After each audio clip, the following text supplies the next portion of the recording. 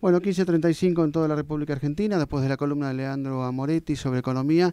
Vamos a otro aspecto de la economía, que es la economía real, justamente, que se construye todos los días con la colaboración de todos.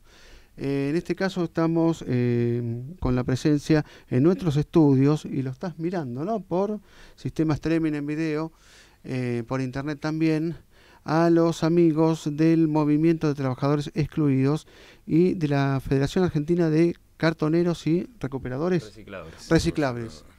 Eh, bueno, eh, habíamos dicho que se iban a presentar cada uno, empezando por a quien tengo a mi izquierda. Bueno, yo soy Lautaro, eh, militante de- del Movimiento de Trabajadores Excluidos, eh, acá en la ciudad de La Plata. Y bueno, estamos acá con, con dos compañeros trabajadores que, que ya se van a presentar, ¿Cómo no? intentando organizar el sector. Están organizando. Bueno, ¿a quién estamos escuchando entonces? Al amigo de, de Gorra. Mi nombre es Víctor Carvajal, soy encargado de los carreros de Tolosa. Ajá. Estamos trabajando para poder organizarnos y ver la situación del carrero que está viviendo en estos momentos en la ciudad de La Plata. ¿De Tolosa de qué lado de las vías? ¿De, de yendo para 120 o yendo para calle 7? 521, 122. Eso es plena curva, ¿no? Sí. Más allá de la curva estamos Sí. hablando. Lo que era antes el barrio antes de la autopista, cerca de la autopista estamos la hablando, exactamente. Eh, uno conoce por haber hecho de sus cosas ahí cerca de la laguna, para ir a bañarse en verano y todo.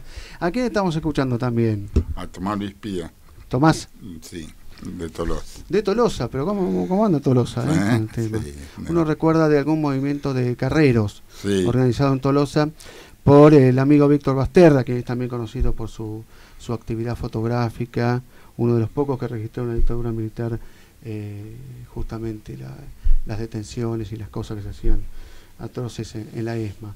Eh, me acuerdo también de haber hecho alguna nota hace 20 años sobre el tema de que cómo los excluían eh, del tema del tránsito en la ciudad de La Plata, algo que sigue siendo una problemática, ¿no? Podemos empezar por Tomás, del tema que ustedes circulan, y bueno, uno anda en auto y tiene que comprender que el otro también tiene sus necesidades, como así ustedes deberán comprender que el otro tiene que circular y demás, pero es algo que no se ha solucionado, ¿no? La Plata, el no, tema este. todavía no se hace.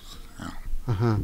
Este, siguen teniendo problemas, inconvenientes. Claro, porque la gente te grita, te insulta, te falta respeto. ¿eh? Y uno no sabe cuando hay chico que hay que traer un plato de comida a las casas. Que Ujú. tiene lluvia, frío, te das vuelta, ujú, ¿eh? a juntar un poco de ropa, comida Claro. y cartón. Claro, claro, claro. ¿eh? Eh, Es muy triste la vida. Es muy triste y muy linda, porque yo por lo menos tengo 63 años y llevo casi toda una vida hecha arriba del carro, Siempre vivió de esto. Toda la vida. No ¿Desde muy chico? 15 años.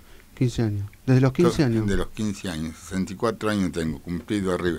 Yo soy de Cañuela, le agradezco a la ciudad de La Plata, a Tolosa que me dio una casa, aquí y bueno, lloro, lloro, perdoname que estamos en el aire, No, perdoname no, no, no, esta forma de bruto de hablar, de saber. Tómese eh, todo el tiempo que necesite No, para no, no, ningún es problema. Yo ir a la calle es todo, una vida, una pasión y con la frente alta. porque en la calle te dan ropa, dinero y maltrato también, ¿no? Pero son la gente buenísima acá en la plaza. Yo me vine de Cañuela en carro y caballo. para buscar Carro y caballo.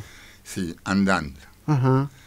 Andando Sí, sí, así, en carro. unas palas, llevaba unas cosas. ¿Y alguna vez se planteó por ahí decir, bueno, en vez de hacer esto, yo podría agarrar un laburito de seis horas en la construcción, ocho horas en otro lado, porque por ahí me pagan el día de mañana una jubilación? Claro, ¿Se puso a pensar si, si se Ah, podía? sí, te puede pensar, pero con esto ya lo llevas de, de sangre, ¿eh? lo llevas de alma. Ujú. Supone yo ahora me dejo la radio y ya estoy atando el carro para ir. Sí, es más, le estamos sacando tiempo para que vaya a, la, No, a, no, a está, juntar no, cosas. Estamos hablando y, y eso es, lo llevas, lo llevas. Ujú, Seguro. Yo estoy trabajando eh, una cooperativa, pero es poco dinero. Ujú. Todavía no lo- Primer reclamo para la cooperativa. No sé si Lautaro tiene algo que decir, que está organizando. No, no, no. Ya estamos hablando de dinero. ¿eh? Es el, ¿Qué pasa ahí? Pi habla de, de, las cooperativas de barrido y limpieza, Ajá. no de la cooperativa ah, está, de cartonera. Está, está, está, perfecto.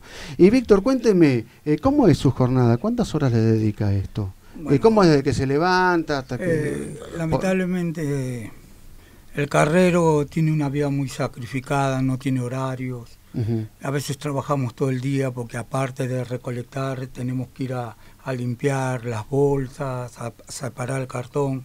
Muchas veces la gente por ahí dice el carrero es vago, no quiere trabajar, no trabajamos más.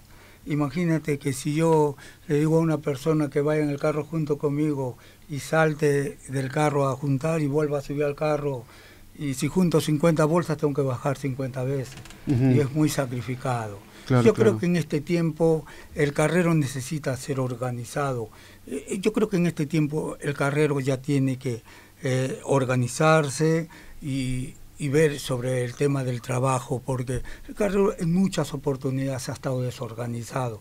Y ahora con los compañeros de el movimiento de cartoneros estamos organizando el carrero de la ciudad de La Plata, pero para luchar por una causa. ¿Y cuál es la causa? Nuestro trabajo, uh -huh. que sea un, considerado un trabajo digno, uh -huh. el convenio que hizo la municipalidad con ESUR, de pagarle millonadas de, de dinero.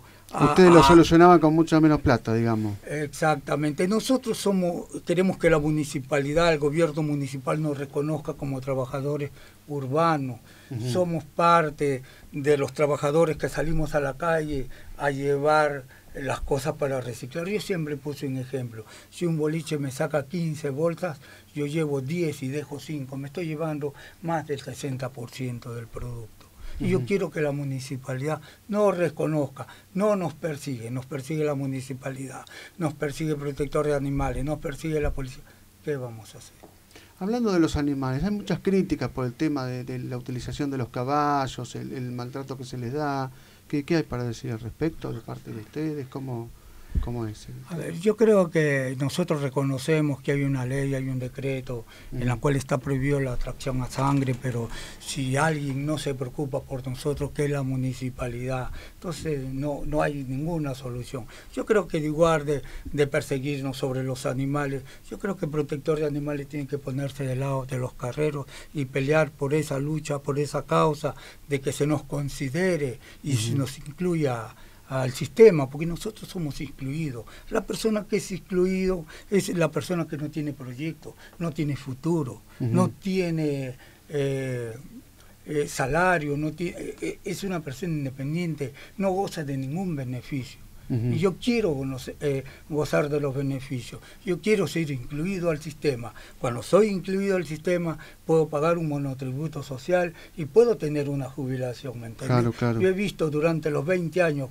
que salgo a trabajar a la calle como carrero, de carreros que se han muerto en, en, encima del carro con 60 años, 70 años, y ir a mendigar un cajón a la municipalidad, sí, en la terrible. cual nosotros vamos a pelear por esa causa, vamos a luchar hasta que la municipalidad se haga cargo de nosotros y que y si no se puede hacer cargo hasta estos momentos que nos deje trabajar porque uh -huh. el trabajo es parte de la vida si uh -huh. yo no trabajo no vivo y si no vivo yo no viven mis hijos yo claro. creo que es un derecho y uh -huh. vamos a pelear por ese derecho estás escuchando a Víctor ¿eh? con, con tanta énfasis tanta tanto entusiasmo eh, y yo parto o, o de observarlo de afuera el tema del trabajo de, de carrero o de recuperador eh, que es por demás duro, sí, sí. que lleva muchas horas, uno la verdad que, que, los envidia por la capacidad física que tienen a veces de, eh, cuando no es con caballo, que tiran directamente ustedes. Sí, yo tengo este, una compañera... De, de, una, de, un carro, y tantas horas, y la caminata, y el esfuerzo, y demás.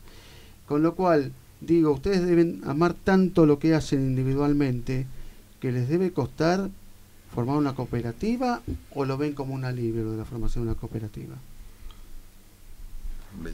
Yo creo, a ver, yo creo que eh, no, la municipalidad no quiere hacerse cargo y al que no querer hacerse cargo no nos da la posibilidad de formar una cooperativa. Nosotros tenemos sobre la bajada de la autopista un espacio mm. donde trabajamos a cielo abierto. Yo a veces con la persona que converso le digo, sería que sería bueno o yo quisiera que un funcionario trabaje en una oficina sin techo para ver si es bueno. Interesante, interesante propuesta. ¿eh? Vamos a mandar el concurso. si, si una persona, a ver, si un empleado o un funcionario de la municipalidad trabaja en una oficina sin techo, va a ver el resultado de lo que es trabajar al interperie. Sol abrumante, lluvia, frío. Yo creo que nosotros trabajamos en esa condición, pero no pero a la vez queremos que la municipalidad nos ayude. Nosotros tenemos un predio, pero ya el gobierno municipal nos puede ayudando con lo que con lo que nosotros precisamos para ir incorporándonos y poder hacer un galponcito y organizarnos para poder tener la cooperativa. vamos a darle pie a Lautaro, que es un poco eh, quien está organizando ¿no? la, cooperativa. ¿Cómo, lo estás viendo? Em, no, en, ese sentido, eh, Víctor y Pía tienen una experiencia de, organización. Es cierto lo que vos decís, tantos años de trabajar eh, individualmente. Uno trabaja para uno y le cuesta conseguir lo que consigue como mercadería para poder venderla. Entonces el tema de la cooperativa decir, che, y vos que esto es lo que yo conseguí, ¿cómo, cómo yo dono parte de lo que consigo? Y por ahí se están mirando de reojo porque decís, che, vos juntás menos porque pensás que yo voy a juntar más. Cosas así. Sí, es como todo, en, todo ámbito de trabajo en conjunto es complicado, eh, cualquier cooperativa no se arma de un momento para otro, hay que es un proceso, nosotros estamos en ese proceso, intentando comenzar a trabajar por ahí no eh, estrictamente eh, en todos los sentidos con la cooperativa, sino por ejemplo acopiando juntos y vendiendo esos materiales en conjunto, lo cual permite conseguir un mejor precio de venta. Eh, el, intermediario en, el sector de los cartoneros es el que se lleva un gran porcentaje.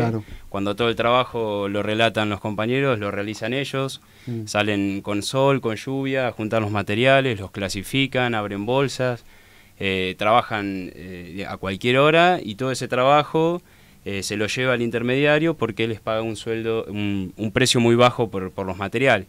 Entonces la idea sería, en este sentido, poder, en principio, comenzar a intentar saltear estos intermediarios, logrando una venta conjunta. Claro. Pero también eh, organizarse tiene otros beneficios, como puede ser agregarle valor a esos materiales. Eh, uno podría prensarlo y venderlo prensado. te digo, ¿qué, ejemplos hay de esto de agregar valor? Bueno, los cartones eh, uno lo puede vender prensado con una prensadora, que es uno de los proyectos que ahora estamos tratando de llevar adelante cuando uno lo vende por prensadora puede vender por toneladas y eso es un mejor precio. Las botellas de vidrio, por ejemplo, se usan eh, actualmente, se las cortan y se venden como vasos también. Ah, Ese es otro proceso que agrega valor. Y así, digamos, eh, más, que, más que los cartoneros no sabe nadie cómo agregarle valor a esas cosas porque son los que trabajaron toda la vida con esos materiales e incluso son los que llevan adelante un reciclado mucho más, eh, más complejo porque desarman heladeras, porque desarman televisores esas cosas, si no, de otro modo se tiran así como están y ellos aprovechan cada uno de los materiales que están eh, eh, en la ¿Cómo calle. desarman heladeras, televisores y después venden los se repuestos? Sacan metal. Ajá. Ah, de ahí sacan el metal. Ah, sacan el metal. Pero no los repuestos, válvulas, esas cosas no. No, no, no. Pero sacan el metal. ¿Eh? Se recicla, como se puede decir. ¿Y, ¿Y, las botellas se están redituando tanto como hace unos años o no tanto? No, sale, sale, la mercadería sale por ahí. ¿eh? Buscar y buscar y caminar. Claro, claro, claro, claro. Gracias a Dios, bueno, esta gente, los compañeros, yo la debo por mucho, porque a mí me sacaron carro y caballo, yo tengo una criatura, una hija de 15 años, mm. con cuatro operaciones, mm. que yo le voy a decir así, y que gracias a mi amigo Víctor, que es un compañero, yo tenía una yegua vieja que ya no se podía andar, entonces tengo un potrillo hermoso, cuatro años y medio, cinco, mm. ¿viste? Digo, bueno, yo la, dejó en el campo allá, y bueno, no se ata más y no se va a más. Y bueno, toma pía, ahí tenés tu caballo. Y gracias a Dios, gracias a Dios a esta gente que yo conocí, que salí con miedo a la calle a trabajar, porque venía, bájese del carro, llamaba protector animal, la policía, y ya tenía miedo, ya tenía miedo a la calle, uno no era un delincuente. seguro. Eh, que salir, a, la calle mm. con miedo, en vez de salir a la hora tranquilo, claro. a juntar. Sí. Hubo un mes atrás que lo estuvieron re mal. Ahora más o menos se tranquilizó un poco, gracias a la gente que estamos con ellos. Claro. Lautaro, el Movimiento de Trabajadores Excluidos es una organización que se fundó en el 2002 en la ciudad autónoma de Buenos Aires. Eh, y dice acá la consigna que lucha por la dignidad de los excluidos y descartados por el sistema capitalista. Eh, ¿Cómo se entiende? O para traducir, va, yo creo entenderlo, pero no sé cuál es la postura, si hay que agregarle algo. No, está bien, sí, en función de, los años de neoliberalismo, de la crisis que, que se vivió en el 2001, eh, cada vez más gente se quedaba sin trabajo, muchos desocupados. Eh, todo eso llevó a que exista la necesidad de tener que salir a inventarse eh, un trabajo. Si bien los cartoneros acá en la ciudad de La Plata no surgen en el 2001 y, son de muchos años de posterioridad, eh, sí el movimiento de trabajadores excluido empieza a trabajar con, con, esa gente que en ese momento se estaba quedando sin, sin poder llevar un plato de comida a sus casas y este sector que nosotros le denominamos la economía popular, que está conformado por todos aquellos trabajadores que no solo están en la informalidad, sino que se encuentran absolutamente excluidos de cualquier derecho que cualquier otro trabajador tiene, porque ellos todos los días se levantan, salen a trabajar, tienen su labor, es un, trabajo como cualquier otro,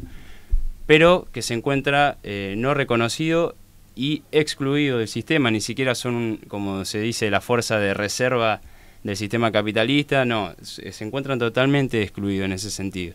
Entonces, bueno, el MT viene a, representar a, estos compañeros, a organizarlos y a tratar de luchar por, conseguir esos derechos que se merecen. Pero igual uno piensa, excluidos, eh, el, carrero, el cartonero, el recuperador es excluido, pero su labor tendría que ser eh, tenida muy en cuenta, porque me parece que es el primer eslabón productivo de la economía nacional. Más de una vez a mí me han comentado que si no existiera la labor de ustedes, eh, tendrían que importar mucho más de lo que se importan algunas... Se los dijeron eso a ustedes, ¿no? ¿Alguna vez? Eh, a Tomás, a Víctor, le dijeron eso que este, ustedes este, aportan mucha materia prima para, para la industria, empezando por el vidrio, por el cartón y todo, que si no, se tendría que estar eh, importando. Incluso las grandes industrias compran los materiales que venden los compañeros a mucho menor precio eh, que lo comprarían en otro lado, el papel, el cartón, los plásticos, y eso lo reutilizan y eso ayuda a que se disminuyan los costos de eh, las grandes industrias. Entonces eso, además del servicio ambiental que brindan los compañeros, reciclando los materiales, evitando que eso vaya al entierro, porque si no se termina enterrando y eso genera una gran contaminación, aportan a la limpieza de la ciudad, porque como decía Víctor, de cada 10 bolsas mm, se llevan más de la mitad, eh, que luego eso se reindustrializa. Entonces el aporte que vienen haciendo, eh, como vos decís bien vos, eh, son excluidos, pero en realidad realizan un trabajo absolutamente digno y que se muchas veces se los corre con el tema del maltrato animal, cuando en realidad yo conozco todos los caballos que tiene Víctor y los que tiene Pía y la mayoría de los cartoneros los tienen muy bien. Por supuesto que muchas veces hace difícil tener una atención veterinaria como, como se debiera, en eso se trabaja pero no quiere decir que sean eh, todos maltratadores, como por ahí sí eh, se sale a decir mucho en el sentido común de la gente, eso no sucede. Y además que si nosotros queremos pensar en una solución eh, mm. real, nosotros tenemos que buscar una forma alternativa de trabajo, considerando el trabajo de recicladores urbanos que, que ellos desempeñan, y de este modo sí, uno dando una fuente de trabajo puede dejar el, caballo tranquilo, porque es, como una mascota en su casa, pero si no se soluciona eso, se le podrá quitar el caballo, pero la necesidad de salir a trabajar sigue estando, se saldrá a buscar otro caballo y se seguirá trabajando. Entonces no, no se llega a una solución del problema real. Claro. Víctor, eh, volviendo con el tema y vamos a machacar nuevamente con este tema de la municipalidad. Eh, concretamente lo, lo que piden ustedes es que les reconozcan su tarea, por un lado. Por el otro a mí se me ocurría, eh, ah, el anterior intendente tenía este sistema y creo que sigue, el de las bolsas verdes. Yo reciclo, yo reciclo. Que les interesa, están compitiendo con ustedes la municipalidad con el tema de las bolsas verdes. A mí se me ocurría si por ahí ustedes pueden tomar parte de ese sistema de bolsas verdes, de cartón, de, de papel, de los residuos secos y poder embolsarlos prolijamente, poder separarlos ustedes prolijamente y tal vez hasta tienen mucha más habilidad ¿no? para hacer su propia planta ¿no? de eh, reciclado. nosotros casualmente conversamos y queremos a ver, ver cómo se puede hacer para organizarnos. A ver, yo quisiera que la municipalidad primeramente nos reconozca como trabajadores urbanos y que nos dé un sueldo de cooperativa, de los que bar que son cuatro mil pesos o tres mil quinientos, pero que se nos considere como una cooperativa de la municipalidad y que en el predio, el lugarcito que nosotros tenemos sobre la bajada de la autopista, la municipalidad nos mande todos los días dos camiones de las bolsas verdes para reciclar. Compongo la cooperativa de 10 personas. Los compañeros saben que a fin de mes van a ir a cobrar el sueldo de la municipalidad, que son los cuatro mil pesos. Nosotros reciclamos, limpiamos, separamos el cartón, la botella. A fin de mes vendemos, un ejemplo, 30 mil pesos. Entre 10 compañeros nos toca 3 mil pesos, más 4 de la municipalidad son 7. Ya se van organizando un poquito. Me organizo y puedo dejar el caballito. tranquilo. qué interesante. Propuesta, propuesta de Víctor. Eh, eh, y a mí se me ocurrió otro tema, por ejemplo, hablaban de, elementos contaminantes, ¿no? Eh, pensando que acá hay plantas desactivadoras de pilas, ustedes que son grandes, este, como es vaquianos de, la región de La Plata, en donde tienen pilas, poder eso acercarlas para algún lugar que pueda desactivarlas, prestando un servicio que por ahí a la municipalidad le podría costar mucho dinero, ¿no? Sí, ahí, ahí eh, estamos eh, charlando sobre ese tema. La idea sería también aprovechar eh, instituciones como la Universidad Nacional de La Plata, con la Facultad de, Ingeniería, Informática, ver qué uso se le puede llegar a dar a eso y, sí, por supuesto, hacerse cargo de esa basura que hoy por hoy... La chatarra informática, las pilas por un lado, ustedes estarían en condiciones de de separar, organizar y, llevar. En vez de camiones de la municipalidad, un camión de la universidad. Exacto. Sería, mira vos, le podríamos agregar justamente alguna. Bueno, conclusión, ¿cómo van a seguir organizándose en este tema? Este, ¿Qué es lo que piensan hacer de acá a un par de meses, a tres meses? Pelear. Pelear como primer consigna, como dice Pía. Seguir peleando. Seguir peleando, no, no, hay, no hay forma de que no sea así. Y después, por otro lado, seguir con, como decía Víctor, con las, las relaciones que estamos teniendo con la municipalidad. La idea era en un momento realizar eh, un relevamiento de los cartoneros de la ciudad, porque es necesario conocer eh, el universo del que estamos hablando, pero bueno, viene muy trabado toda esa situación, con lo cual entre nosotros mismos, entre los cartoneros mismos, se está organizando este lugar que tiene Víctor y Pía. En la bajada de la autopista. Eh, ahí dijo en 122. 521 122. Eh, la curvita del otro lado sería, ¿eh? para tener en cuenta. Y datos de contacto por si alguien quiere hablar con ustedes o, justamente que los ubique en algún lado, Lautaro, algún teléfono. Nosotros tenemos un Facebook eh, que ahí nos pueden ver que es MT La Plata, MT La Plata. La página web, en realidad la... Mm, la página de Facebook. La página de... En realidad el mail que tenemos... Ah, el mail, el mail. Es FACIR, de Federación Argentina de Cartoneros y Recicladores, FACIR, laplata.gmail.com y ahí bueno se pueden contactar y también en la página pueden buscar por FACIR, en la página de la Federación de Cartoneros, ahí se puede ver el proyecto que se tiene acerca de la inclusión de los cartoneros en un sistema de reciclado. Bueno, nuestro deseo, eh, primero agradecerles la presencia de ustedes en nuestros estudios, que esto signifique algo para alguien, este, que deje una marca, una señal o un mensaje para quienes se tengan que hacer cargo de la situación de ustedes y bueno, la expresión de deseos de que eh, eh, en la próxima entrevista ya vengan como cooperativistas reconocidos. Gracias Víctor, gracias Tomás, gracias, gracias Lautaro. Y bueno, nos vamos a estar en, en contacto, queda a disposición este programa para lo que ustedes necesiten. Yo les diría a ustedes gracias por todo, gracias por, escucharlo, ¿eh? porque nadie lo escucha. Y porque dice, ¿y qué estos cartoneros acá? Que se vayan. ¿eh? Pero hay que conocerlos, hay que conocerlos justamente. Bueno, Obviamente. Bueno, muchísimas gracias. Entonces, y nosotros estamos despidiendo. Se viene súper lógico en la continuidad de la programación de FM Keops.